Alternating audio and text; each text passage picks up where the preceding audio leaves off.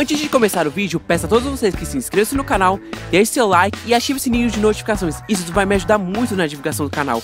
Fico agradecido a todos de coração. Um grande abraço e vamos até o vídeo. Tchau! E olá pessoal, tudo beleza com vocês? Eu sou Vinícius McLean, esse aqui é meu canal. Se você não é inscrito, se inscreve. Nós estamos começando mais uma vez, mais um vídeo aqui da nossa série De Olho nos Famosos, aqui no canal McLean. E nós vamos comentar sobre a, a figura, a pessoa do Felipe Neto, né? Uh, se envolveu em bastante polêmicas, tá vendo vídeos do passado vindo à tona e como é que ficou essa história toda. Nós vamos explicar aqui direitinho para vocês o que que tá acontecendo, tá? Porque é importante você, o inscrito, saber tudo esse burburinho que tá surgindo aí pela internet, né? E, enfim, né? Eu vou comentar sobre três uh, coisas que tá envolvendo o nome dele, três polêmicas, três polêmicas que está envolvendo o nome dele, né? E nós vamos ver vídeos, fotos e tal, e tal, e tal. Enfim. A primeira de tudo, né, aqui a gente, né, tá sabendo, né, há algum tempinho atrás, é a polêmica dele né? Na verdade, não só dele, mas com o irmão dele, versus a Antônia Fontinelli, né? Uh, ah, para quem não, não, não, acompanhou né, as últimas notícias, uh, essa polêmica entre os irmãos Neto, né, sobretudo o Felipe Neto, e a Antônia Fontinelli, é que a Antônia Fontinelli ela denunciava os irmãos Neto mais uh, uma porreta de alguns youtubers aí, tipo, da Ilha dos Barbados, eu acho que eu, eu acho que não, da Ilha dos Barbados não, acho que o único da Ilha dos Barbados que tá envolvido é o Rafinha. Não, não é o Rafinha não, olha. É o. Aquele lá que tinha um olho pra cá, PC Siqueira. E tava envolvido. É, e a, a, como que eu posso dizer? Ela meio que denunciou, né? Fez um vídeo de denúncia, né? No, no Instagram dela, né? Denunciando esses youtubers e, uma, e alguns mais, né? Uh, por causa que eles estavam supostamente uh, envolvidos com, sabe, com pedô, entendeu? Tipo, coisas estranhas com crianças, sabe? Que eu não posso falar essa palavra aqui no YouTube, porque senão o YouTube vai censurar o meu vídeo. Mas enfim, Uh, enfim, né, a, denunciava que eles estavam fazendo coisas erradas com crianças, vamos dizer assim, né? E eram coisas graves, tá? Aí, tipo, PC Siqueira uh, excluiu o canal dele, ficou meio que assim nervoso, teve a vídeo dele aparecendo destruindo a casa dele. E, mano, mal bafafal que rolou Uh, e poucas semanas atrás desse vídeo, hoje é o que dia? Hoje é dia 28, foi pouquíssimas semanas atrás. Pouquíssimas semanas atrás. E tem gente discutindo isso até agora, pra você ter uma noção, tá? E aí no caso, os irmãos Neto, né? Tipo, no caso, o Lucas Neto, ele soltou um vídeo no Instagram dele, né? Se pronunciando sobre tal, né? Porque ele aparecia com um vídeo uh, que ele né, no vídeo que a Antônia Fontinelli denunciou ele, né, ele pegava uma garrafa de gelatina, não sei se uma garrafa de gelatina ou de sorvete, de bala, não sei, ele colocava na boca e, fica, ficava fazendo assim, sabe? E repetidas vezes. E a Antônia, tipo, denunciou isso, né, no, no vídeo dela, né? Aí ele se pronunciou, ele falou que estavam falando que.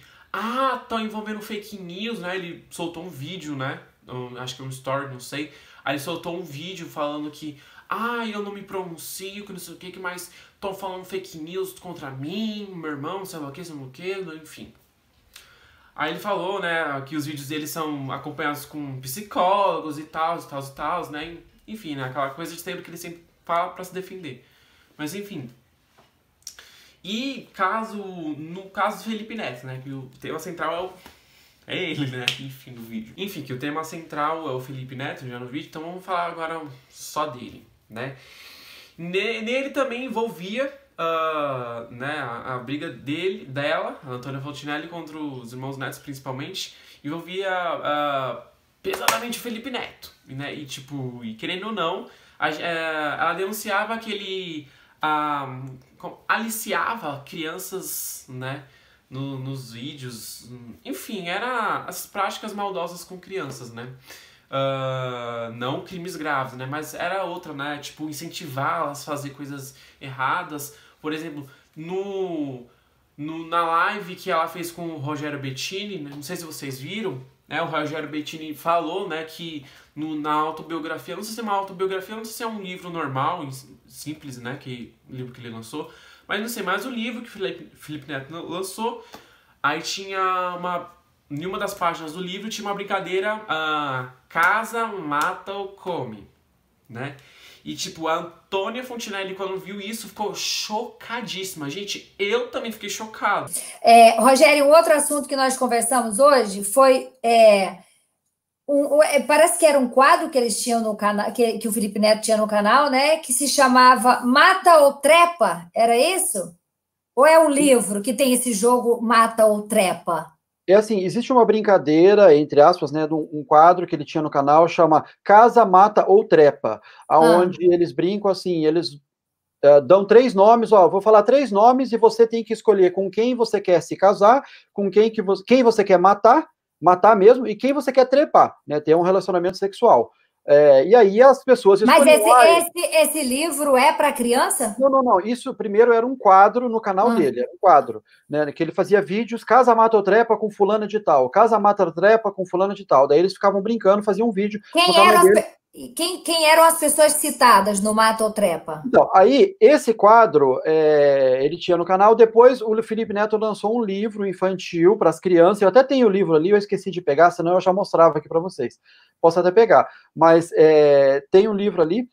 E aí, ele, ele colocou esse quadro no livro infantil. Existe uma página inteira nesse livro que é o Casa, Mata ou Trepa desse jeito. E nesse livro infantil, livro para as crianças, o Felipe Neto colocou várias personalidades lá para as crianças escolherem quem as crianças querem se casar, quem as crianças querem matar e quem as crianças querem trepar mesmo de verdade. E colocou personalidades como Kid Bengala, um ator pornô, colocou a VTube, que era uma youtuber que ele não gostava, colocou. Mas a, a VTube é menor. Mas a VTube é menor de idade, não é menor de idade essa, essa Exatamente, a VTube era menor de idade na época, a família dela não sabia. A minha esposa me deu aqui, obrigado, amor.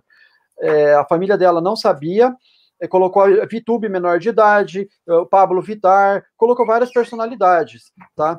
Uh, e inclusive a família da VTube não sabia, eu avisei, Aí o pai da VTube falou: Ô Rogério, valeu, obrigado. Vou processar o Felipe Neto por causa disso. Processou e ganhou. Ganhou. Olha, deixa eu ver esse livro, Rogério. Esse aqui é o livrão, tá? Ah. Aqui, esse livrão, livro, esse foi o segundo livro que o Felipe Neto lançou. O primeiro foi na época do, do, do canal antigo que ele tinha, tá? E aí depois que ele mudou e, e deu, deu mais dinheiro para fazer conteúdo para criança, daí ele fez. Aí esse foi o primeiro livro que ele fez. Olha aqui, ó. Casa, Mata ou Trepa. Se vocês puderem ver aqui, deve, deve estar para ler aí a, a, Pablo Vittar aqui no meio, ó. Pablo Vittar. A, a Anitta. É. Kid Bengala, Vitor. Misericórdia, como é que alguém pergunta para minha neta com quem ela quer casar, matar ou trepar, gente? Olha. Ui, deixa eu beber água, deixa eu beber água, porque eu tô ficando. É, eu não conhecia, gente. O que eu preciso dizer para vocês é que eu tinha ranço do Felipe Neto, mas eu não conhecia essas barbares a fundo, entendeu? Eu não entendo, eu não entendo como os pais levam suas crianças para os embustes desses. É, é. Ai, gente, olha, tá tudo errado na caralha desse país. Porque onde já se viu, tipo, um livro para criança um livro para criança ter uh, esse tipo de brincadeira. Tipo, tava lá no livro, aí você tipo, tinha que marcar quem você casava, quem você comia e quem você matava. E tipo, mano, eu fiquei assustado porque, tipo, mano, é um livro de criança, de criança. Pra que ter uma coisa dessa? Né? Ah, pessoal, vale a pena ressaltar também é que na, na hora da edição, na hora da, da gravação do vídeo, eu acabei esquecendo de mencionar mas o youtuber Rogério Bettini, ele, né, com esse burburinho, né, do livro do Felipe Neto, né, a, o, Rogério, o youtuber Rogério Bettini foi nas lojas americanas, em algumas unidades das lojas americanas, ver se ainda estava sendo vendido o livro do Felipe Neto. E por incrível que pareça, a, né, com o burburinho né, que aconteceu, as lojas americanas resolveram uh, retirar, destruir todos os livros que ela tinha adquirido para vender do Felipe Neto, né? E se você vai numa lojas americanas não tem mais nenhum, nenhum, nenhum livro. Uh, e vou deixar passando aqui o, o vídeo que o Rogério Betim fez, né, para mostrar, né, o atitude que a lojas americanas uh, tomou, né? É, meu, senão a lojas americanas ia ficar queimada, né? Senão as pessoas iriam cancelar a, as lojas americanas, né? Até, até eu entendo, né, a atitude uh, da diretoria lá das lojas americanas, mas confira o vídeo. É que tinha um livro lá no fundo, um livro amarelo sobre o Felipe Neto, cabelo vermelho, capa amarela. Aí não tem mais nenhum lá. Ah, eu acho que os do Felipe Neto foram todos retirados. Foi retirado? Aham, porque Mas ele- como conteúdo impróprio, daí foi Tinha. retirado tudo. Tinha conteúdo imoral, sim. É, daí foi retirado todos os livros. É. dele. Ah, e você sabe o que que foi feito com os livros? Não sei, foi mandado pra quebra, daí eu não sei. Para quebra? O que, que é isso? É jogado fora. Jogar fora? Aham, Eles destroem e é Ah, tá. Joga no lixo. Tá, obrigado. G6. Oi. Oi. Sabe quem que é o gerente aqui da loja? Eu sou responsável no momento. O senhor que é responsável? Ah, eu queria tirar uma informação, por favor. É, eu, uns dias atrás eu vim aqui, tinha bastante livros do Felipe Neto, uns livros da capa amarela, ele que tava com o cabelo vermelho. Ah, não temos mais. Tava lá no fundo, tinha mais de 100 livros, né? a Tinha gente bastante. recolheu tudo, a gente não tem mais. Recolheu? Mas foi alguma ordem judicial ou foi da, da Americanas mesmo? Não sei, acho que foi da Americana mesmo. Ele só recebeu a mensagem pra retirar da área de venda dele. É, veio da matriz? Não, veio da, da sede da Americana, da matriz? Acho que é, veio. É, mas é só esse do Felipe que foi recolhido, os outros não, né? Só, que, só aquele lá daí. Aham. Não da capa amarela, né? Isso. Então tá. Beleza então. Valeu, obrigado.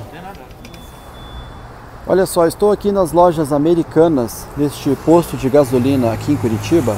Vamos ver, vamos ver onde é que tem as revistas. Vamos ver o que, que tem aqui. Eu vim aqui alguns dias atrás e tinha um com a capa amarela. Que ele tá com cabelo Do vermelho. É. Ah, essa, essa revista a gente. a companhia retirou de venda. Ah, Americanas que, que retirou de circulação? Sim, aham. Ah, tá. Então, toda a companhia foi jogada fora. Porque disse que tinha conteúdo, conteúdo impróprio. Ah, toda a companhia mandou jogar fora? Aham. Nossa. E-mail pra gente. Faz tempo que foi pedindo para tirar as revistas de circulação? Sabe? Tem uma semana, se não me engano. Ah, você não sabe se tem alguma coisa a ver com a justiça ou se é a ação da própria americana que tomou a iniciativa? Então, na verdade, a gente recebeu um e-mail da sede pedindo pra tirar porque tinha conteúdos impróprios. Só isso. Isso, daí falaram pra gente quebrar. E era pra tirar mesmo, que daí não ia gerar custo pra loja. Por isso que a gente foi obrigado a tirar da área de venda. Ah, e vocês mesmos que destruíram, que jogaram fora? Isso. Não precisou enviar para matriz? Não, é-?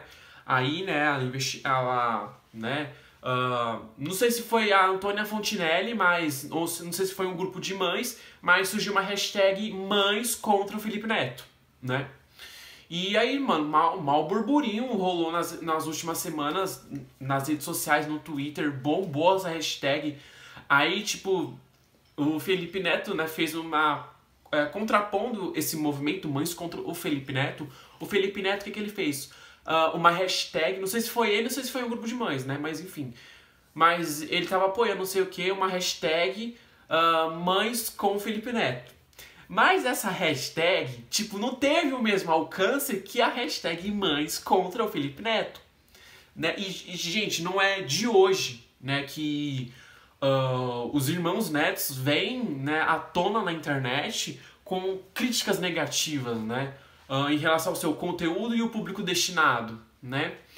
E nós vamos falar que hoje, na verdade, na verdade ontem, né, se eu não me engano, dia 27 de julho de 2020, o canal Jacaré de Tanga, um canal que eu acompanho bastante, ah, publicou um vídeo né, de 10 minutos praticamente, ah, mostrando a farsa do Felipe Neto. E a gente também vai ah, discutir sobre esse vídeo aqui, né? E nesse vídeo, em um dos vídeos lá, né, que são vários trechos de vídeo, né, mostra que o Felipe Neto, ah, como que eu posso dizer? Ele ensinava as crianças a assistirem conteúdo para mais de 18 pra, pesso- pra- para um público destinado a mais de 18 anos uh, no YouTube. Quando o YouTube acha que um conteúdo é impróprio para menores de 18 anos, eles colocam uma censura. E aí você só consegue assistir aquele vídeo se você estiver logado no YouTube. E se você tiver mais de 18 anos na sua, no seu registro lá. Você bota a sua data de nascimento. Se você colocar que nasceu em 86, você tem mais de 18 anos. Mas nós não vamos perder corujas loucas desse Brasil. Sabe por quê? Porque vocês vão criar conta no YouTube. A partir de agora, assistam todos os meus vídeos logados. Cria uma conta no YouTube. É muito importante, porque você vai descobrir o milagre do ser inscrito nos canais. Cria a conta e se inscreve no meu canal. Aqui embaixo tem um botão. Para não correr esse risco, de agora, a partir de agora, o YouTube pode chegar e falar: foda-se, todos os teus vídeos agora vão ser censurados para maiores de 18 anos. Que se foda. Mas só para avisar todos os YouTubers, se você não quer de fato, do coração, se você não quer que um menor de idade assista seu vídeo, tem a opção nas configurações do vídeo, tá? Só para avisar, tem lá, é, colocar só para maiores de 18, mas ninguém aperta esse botão.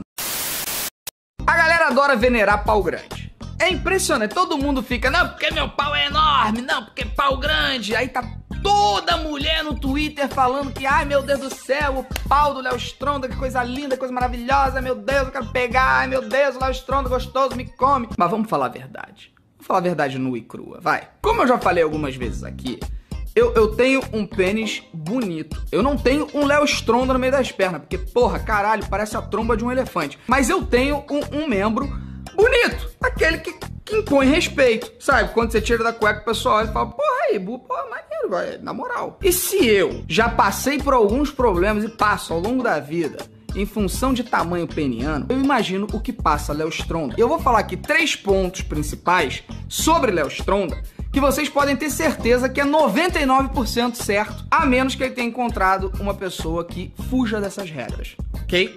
1. Um, a mulher acha lindo, mas na hora que é na, na hora ali da vida real, ó, é outra história. Eu garanto que ele nunca vai receber uma garganta profunda na vida. Porque chega na metade a pessoa já tá.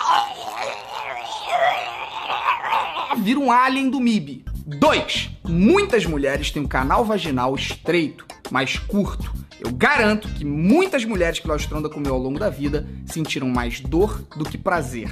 Ele precisa aprender várias técnicas para poder driblar esse problema. 3. Cozinho esquece. É só ele sugerir o cozinho que a mulher vai olhar para aquilo e falar. Ah! Né, ele ensinava que você tinha que estar logado, que você não podia uh, estar deslogado né, para assistir esse tipo de conteúdo, que você precisava criar uma conta no Google e com mais de 18 anos, né? E, e ele ensinava as crianças, né, o público dele, né? Porque na época, pelo vídeo, tipo, dava para perceber que é um público o destinado, o público do canal dele, era um público de crianças, adolescentes, enfim. E o mais engraçado é que eu me lembre, eu não tenho, uh, uh, não tenho, tipo, mais vídeo, né, porque, nossa, aconteceu muito antes. Eu vi no canal do Content, se eu não me engano, se eu não me engano, que o Felipe Neto falava, ah, aqui meu conteúdo é só, uh, só mais de pessoas de 18 anos veem, e tipo, ele já publicava vídeos de criança, sabe? Aí ele fala, ah, que meus, meus, o Felipe Neto, né? O Felipe Neto fala, ah, é que os meus vídeos, ah, ele mostrou, né, o infográfico, eu tenho certeza que foi o Felipe Neto que mostrou, ele mostrou o infográfico do YouTube Studios dele, que falam, né, que é, falando assim, ah, é que meu público, a maioria é, são pessoas de acima de 18 anos, que não sei o que, 18 ou 14, não, não sei, mas era, eu acho que era 18. Aí, tipo, meu, aí quando eu vi esse vídeo do Jacaré Tanga, eu fiquei, meu, tá explicado porque o maior público dele são pessoas acima de 18 anos. Dá pra explicar, tá, né? E. Enfim, né?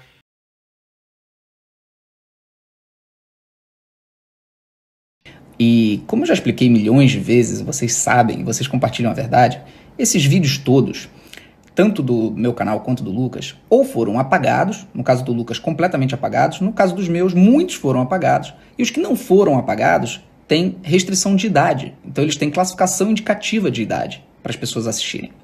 Inclusive, eu sou talvez o único youtuber é, no mundo que coloca uma classificação indicativa de idade no título do vídeo todas as vezes que tem qualquer tipo de coisa que eu considere que o vídeo não é próprio para menores de 12 anos. E esse é o meu compromisso que eu vou continuar tendo sempre. E também tá rolando um rolo, voltou a rolar um vídeo dele, né? Uh, uh, ostentando um vídeo de 2016, né? 2016 aparentemente, dele ostentando uma viagem né, que ele fez lá pra Vegas, que ele ia lá numa balada, ele tava perto do, do DJ, ele bebia, ele tava bêbado, sabe? Uma pessoa que tava a curtindo a doidaço à noite. E muitas das vezes cabe àqueles que têm poder aquisitivo agir, fazer alguma coisa com o bendito do seu dinheiro, ao invés de comprar um carro novo. Eu quero que o mundo se f... porque eu tô num camarote do lado do DJ que custa uns 20 mil dólares. E aí você fala assim, Felipe, você é um metido. Eu estou bêbado e pelo menos fazer, usar para alguma coisa que auxilie a luta das pessoas. Então, Brasil, essa é a hora que eu peço desculpa para vocês, mas eu tô entrando na balada mais top de Vegas. E é isso aí. Valeu, chupa meu c... E se eu, como homem branco rico, não faço absolutamente nada, significa que eu sou realmente conivente com a censura. E eu não vou permitir que isso aconteça porque eu não consigo dormir. O mundo. Pra cuidar da gente. Chupa, rei do camarote, é o c... meu amigo. Novo rei. A vida na noite, né? Enfim. Aí tava lá na balada, aí rolou esse vídeo, né? E, tipo, muitas pessoas ficaram chocadíssimas com este vídeo que está circulando nas redes sociais. Uh, por ser um vídeo antigo, ele foi lá e se pronunciou nos stories, né? A gente vai deixar rolar os stories, né? E aí, galera? Como é que vocês estão, beleza? Tô aqui pra comentar e mostrar a verdade por trás de mais uma mentira escabrosa levantada pela extrema direita. O que, que eles fizeram agora? Eles acharam um vídeo meu de 2015, 2016, é, em que eu estaria teoricamente bêbado e gritando palavrões e etc, é, falando que tem muito dinheiro, né? É, quem assistiu aí provavelmente sabe do que eu tô falando. Eu tava em Las Vegas e eu apareço nesses stories picotados que eles cortaram intencionalmente, dando a entender que eu sou um arrogante, que eu tô ali, né, querendo dizer que por eu ter dinheiro eu sou superior. Mas, como sempre, o que a extrema direita faz, ela tenta assassinar a reputação sem contar a história toda, sem falar a verdade. Só assim ela consegue atacar a reputação dos opositores. Primeiro lugar, é importante que você saiba que esse vídeo é né, entre 2015 e 2016, ali no final, acho que foi início de 2016. Esse é o primeiro ponto importante de ser ressaltado. Olha quantos anos esse vídeo aconteceu. Em segundo lugar, e mais importante, ninguém vai falar isso para vocês, eu estava gravando uma websérie quando eu fiz aquilo ali. Aquilo ali tem muito mais interpretação do que realidade. Então eu vou mostrar para vocês um detalhezinho. O nome daquela websérie, que é para maiores de 18 anos, porque tem mesmo muito palavrão, né? Na época o YouTube era isso, todo mundo fazia muito palavrão, muita piada de cunho sexual, etc. A websérie se chama Las Vegas Real e eu gravei com Maurício Meirelles. E tá no ar.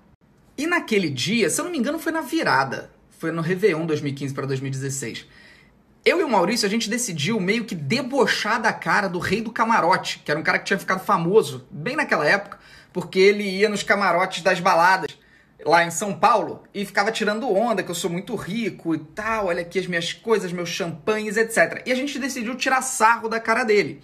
Óbvio, cheio de palavrão, cheio de piada errada, como a gente sempre fazia. Então eu vou mostrar o trechinho da websérie, né, do, do finalzinho do episódio 2, que é quando acontece essa balada, para vocês entenderem o contexto daquelas falas. É, é só para maiores de 18. Se você não tem 18 anos, por favor, não assista o próximo story, ok? Por favor. Aqui, ó, eu e Maurício na balada. E tá aqui, ó, março. Oh, meu Deus. Boa! Parabéns! Março de 2016 foi quando foi ao ar, mas a gente gravou na virada do ano, tá? Março. E aqui, olha como a gente tira sarro do Rei do Camarote. Essa porra aqui, olha só.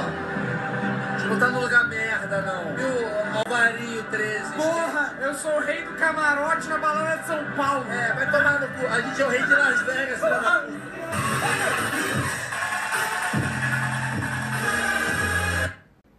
Como vocês podem ver, era piada. Era uma interpretação que a gente estava fazendo para o Las Vegas real, para a websérie.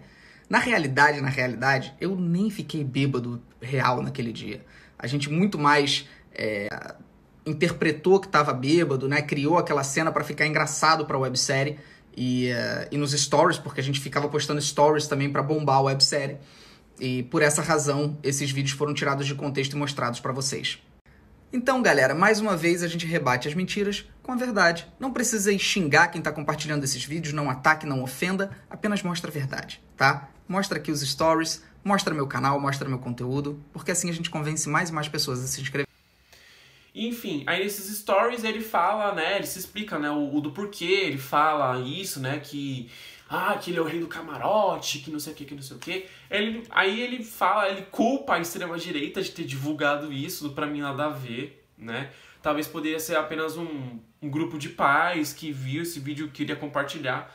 Tipo, não necessariamente. Pode ser até mesmo, tipo, pessoas de esquerda que não concordam com, com o comportamento dele vai lá e culpa a extrema-direita, não entendi uh, isso muito não, né? Enfim, né? Tipo, culpar, tipo, um lado político, né? mas enfim. Uh, isso é meio que um discurso ad hominem, né? A gente tenta desviar o, o assunto para tentar desmoralizar, né, uma outra pessoa, né? mas, mas enfim. Mas bom, gente, enfim, esse foi o vídeo de hoje. Espero que vocês tenham gostado uh, demais do, desse, do estilo de vídeo que a gente vai fazer aqui para a série De Olho nos Famosos aqui no canal Maclay. Uh, a gente vai começar a comentar sobre esses assuntos. Eu tô tendo mais tempo, tipo, Uh, no caso desse vídeo aqui, né, eu tô organizando minha rotina, como dormir, estudar, fazer vídeo, dedicar ao canal. Então, a part... daqui até o final do ano, a gente vai ter uns vídeos legaisinhos aqui pro canal Maclay, né? Não só de olho nos famosos, mas como outras séries também. Eu quero voltar a trazer vídeos de culinária, eu, nossa, eu fiz o que? Dois vídeos de culinária, tipo, e eu, eu cozinho pra caramba. Eu, eu queria mostrar as minhas receitinhas pra vocês, né? Mas enfim, entre outros vídeos, né, vlogs, unboxing, né, que unboxing, tipo assim, eu fico muito feliz, né, porque tipo, meus vídeos de unboxing sempre tem uma taxa de visualização, visualização muito boa. Mas enfim, a gente não vai deixar de publicar vídeos sobre famosos porque eu sei que vocês gostam. Então, inscreve-se no canal, deixe o sininho ativado, compartilhe esse vídeo com seus amigos, enfim, gente, gente. Tchau, pessoal, até a próxima. E você, gostou do vídeo? Deixe seu like, inscreva-se no canal e não perca a nossa playlist de vídeos selecionados aí para vocês. Muito obrigado a todos. Tchau!